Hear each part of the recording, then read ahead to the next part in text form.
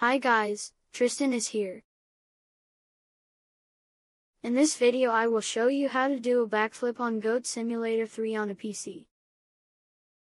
First, get on a flat surface.